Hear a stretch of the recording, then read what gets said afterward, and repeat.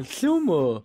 Burada ne işin var dostum? Bilmiyorum.